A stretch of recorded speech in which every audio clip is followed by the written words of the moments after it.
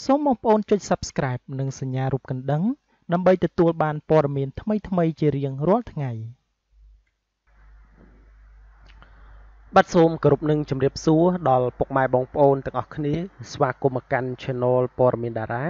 ខណៈពេលនេះខ្ញុំបាទសូមនាំអារម្មណ៍ពុកម៉ែបងប្អូនមកតាមដាននៅព័ត៌មានមួយពាក់ព័ន្ធជាមួយនឹងការចេញសារអគុណទៅដល់លោកជំទាវចំនួន2រូបពីសំណាក់លោកប៊ិតសម្រាប់ នៅថ្ងៃទី24ខែ12ឆ្នាំ2023លោកប៊ិតសម្រាប់បានចេញសារសម្លេងមួយ ពី Channel YouTube ផ្ទាល់ខ្លួនរបស់លោក ដែលធ្វើការថ្លែងអំណរគុណទៅដល់លោកជំទាវចំនួន2រូបដែលបានជួយជ្រោមជ្រែងរូបលោករហូតបានឡើងកម្មវិធីថ្នាក់ជាតិតែម្ដង លោកជំទាវទី1មានឈ្មោះថាជូប៊ុនលៀនដែលបាននិពន្ធបទចម្រៀងឲ្យរូបលោកច្រៀងក្រោមចំណងជើងថា ជីវិតទេសកលនេសាទដែលបទចម្រៀងមួយបទនេះគឺបានរៀបរាប់អំពីជីវិតពិតរបស់លោកនៅប្រទេសថៃ ក្នុងនាមជាពលករត្រូវបានគេលក់ដូរផងដែរលោកបិទសម្រាប់បានរស់នៅលើទូករយៈពេល2ឆ្នាំ ដែលរូបលោកចូលក្នុងទុកត្រូវបានគេលក់នោះនៅអាយុ14ឆ្នាំ ហើយបានរត់ចេញមកវិញនៅអាយុ16ឆ្នាំ ដែលការរត់ចេញរបស់លោកគឺធ្វើឲ្យគ្រប់គ្នានឹកស្មានមិនដល់ឡើយ ថារូបលោកអាចនៅមានជីវិតដូចជាសពថ្ងៃនេះតាមការរៀបរាប់របស់លោកបិទសម្រាប់បានបញ្ជាក់ថា នៅកំឡុងពេលនោះ ប្រសិនបើមានអ្នករត់គេចចេញពីទុក100នាក់ឬក៏1000នាក់មិនមានរស់មួយផង តែជីវិតរបស់លោកថ្លៃណាស់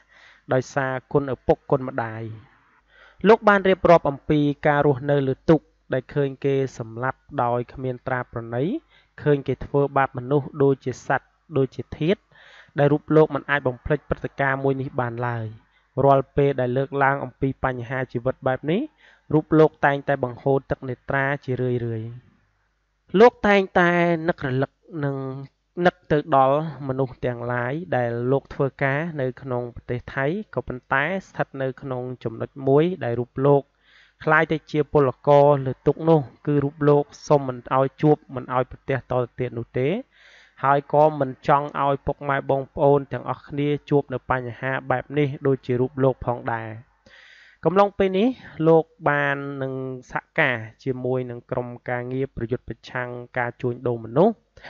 ដែលរូបលោកដើរតួសំខាន់ខ្លាំងដោយសារទី1រូបលោកមានអធិបុលនៅក្នុងបណ្ដាញសង្គមទី2គឺរូបលោកជាមនុស្សដែលធ្លាប់ឆ្លងកាត់ជីវិតបែបនេះផ្ទាល់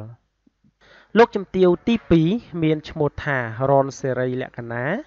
លោកជំទាវរូបនេះហើយដែលជាអ្នកអញ្ជើញលោកបិទសម្រាប់ចូលរួមនៅក្នុងកម្មវិធីថ្នាក់ជាតិ12ធ្នូ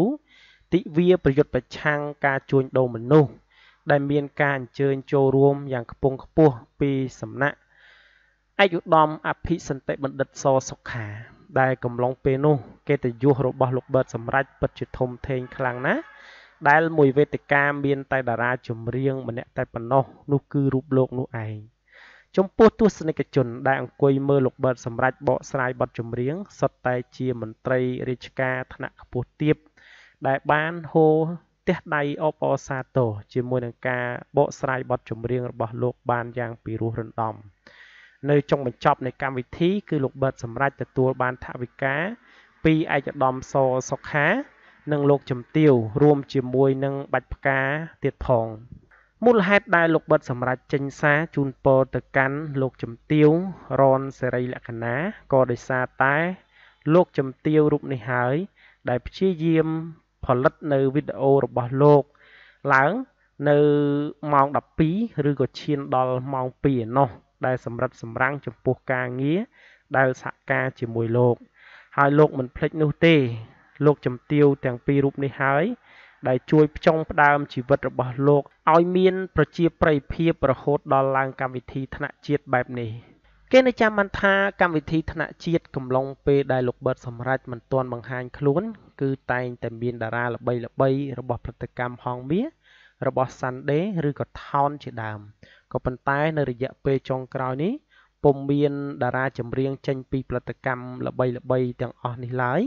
បែជាលោកបឺតសម្រាប់ជាអ្នកបង្ហាញខ្លួនទៅវិញ ដែលនេះសបញ្ជាក់ឲ្យឃើញថាប្រជាប្រិយភាពរបស់លោកបឺតសម្រាប់នៅពេលនេះពិតជាឡើងកោតខ្លាំងណាស់ហើយរូបលោកផ្ទាល់ពិតជាចង់ឲ្យពុកម៉ែបងប្អូនទាំងអស់គ្នា បានសន្តាប់នៅបទចម្រៀងចេញពីជីវិតពិតរបស់លោកហើយក៏សូមឲ្យពុកម៉ែបងប្អូនជៀសឆ្ងាយអំពីជីវិតដ៏អភ័ព្វមួយនេះផងដែរ ស្ថិតនៅក្នុងបទចម្រៀងមួយបទក្រោមចំណងជើងថាជីវិតទេសកលនេសាទដែលរៀបរាប់អំពីជីវិតពិតរបស់លោកក៏ប៉ុន្តែវាបង្ហាញអំពីទស្សនវិជ្ជាទូទៅនៃការជួញដូរមនុស្សដែលកំឡុងពេលនោះរូបលោកនៅក្មេងខ្ចីត្រូវបានគេយកលក់ដូរដូចជាសត្វដូចជាធាតុហើយក៏មានមនុស្សជាច្រើនទៀតដែលកំពុងតែជួបបញ្ហាបែបនេះដូចជារូបលោកដែរ ដូចនេះហើយគ្មានអ្វីដែលរូបលោកអាចជួយបាន នៅក្នុងសង្គមនេះក្រៅពីធ្វើយ៉ាងណា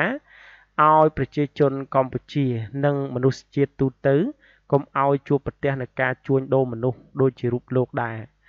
រូបលោកផ្ទាល់គ្មានសិទ្ធិសេរីភាពនោះទេ ដែលត្រូវបានគេធ្វើបាបជេរស្ដីប្រតិចយ៉ាងអស់សាច់ដោយរូបលោកមិនមានសិទ្ធិក្នុងការតបតមកគេវិញឡើយក្នុងផងដែរសំបីតែការហូបចុកក៏មិនគ្រប់គ្រាន់ ដូចជាមនុស្សដែលមានសេរីភាពពេញលេញនោះដែរ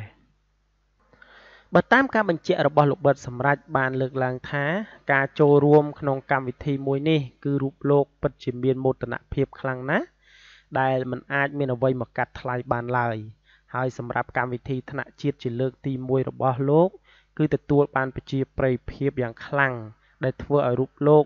រាល់ពេលមើលសកម្មភាពខ្លួនឯងឡើងវិញពិតជាញញឹម ជាមួយនឹងសកម្មភាព ដែលខ្លួនខិតខំប្រឹងប្រែងអស់ពីកម្លាំងកាយចិត្តហើយដែលមានការចូលរួមជួយពីសំណាក់ជំទាវពីររូបទើបអាចឡើងឆាកតន្ត្រី ក្នុងកម្មវិធីថ្នាក់ជាតិបែបនេះបាន ដែលលោកជំទាវ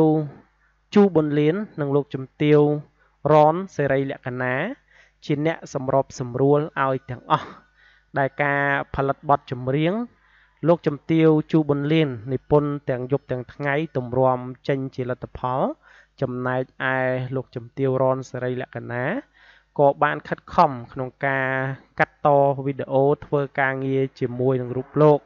រហូតដល់ពាក់កណ្ដាលអត្រាទៀតផង